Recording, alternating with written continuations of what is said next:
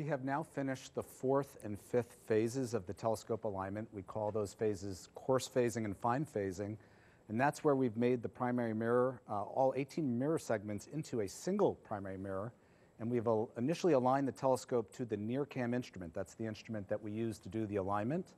And, um, and we've taken our first images. In fact, the team gathered over the weekend when the first images came down. We were in the Mission Control Center, and it was a very emotional moment. Um, we kind of blew the, you know, some of the image of stars up and um, really could see how it was performing.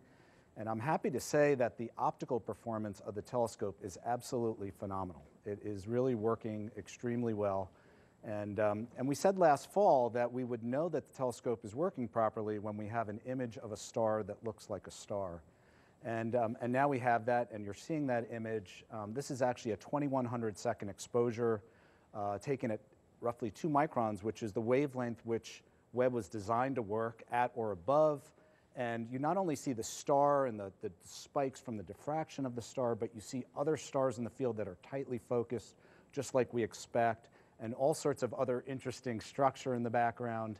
Um, we've actually done very detailed analysis of the images we're getting, and so far what we're finding is that the performance is as good, if not better, than our most optimistic predictions.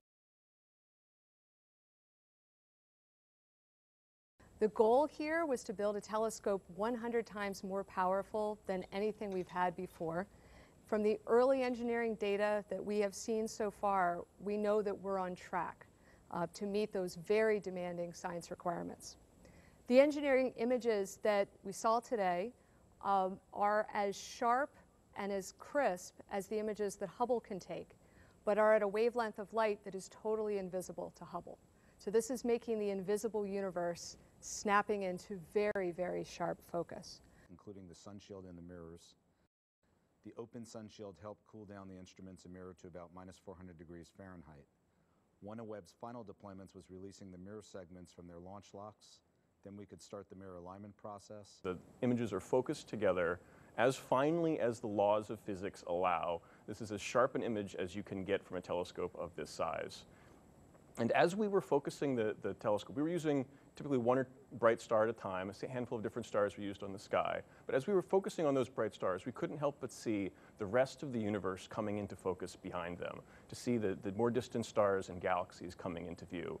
And, and honestly, the team was giddy at times just seeing this happen. There, there's no way to look at these data and not be excited at the scientific possibilities that, that are opening up here.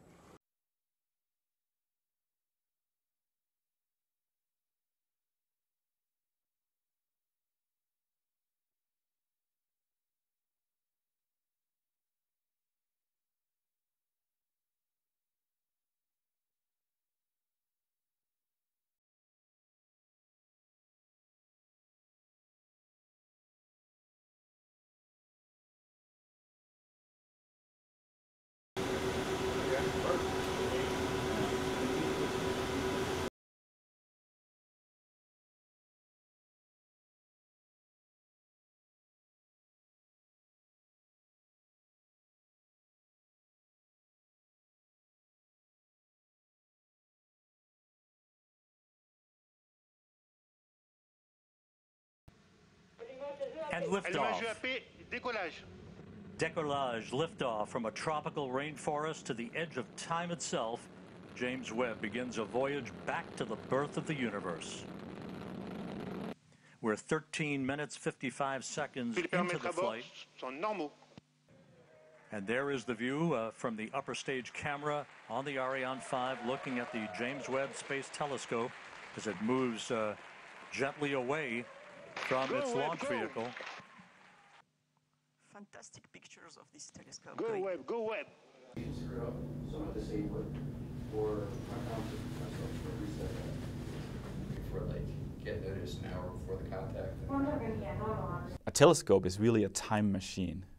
Because light travels at a finite speed through the universe, we see the universe as it existed when that light was emitted. It's traveled through time and space, and we detect it later on.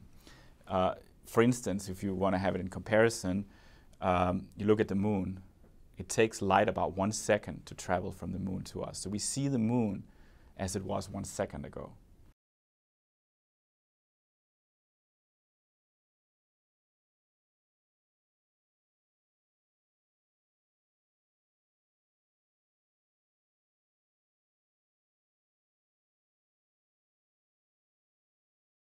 Earth is here. This is the Earth. And then we have the moon going around the Earth. And the obvious place we're going to put the telescope is orbiting around this one over here. James Webb Space Telescope is often called the successor to the Hubble telescope. But that's really slightly a misnomer because, first of all, the Hubble telescope's still operating and may operate for another five or ten years if we're lucky. Uh, and secondly, it's a very different kind of telescope. The Hubble telescope is optimized to see the part of the universe that our eyes can see, whereas the James Webb telescope is optimized to see in the infrared part of the spectrum, which gives us a whole different set of information about the universe.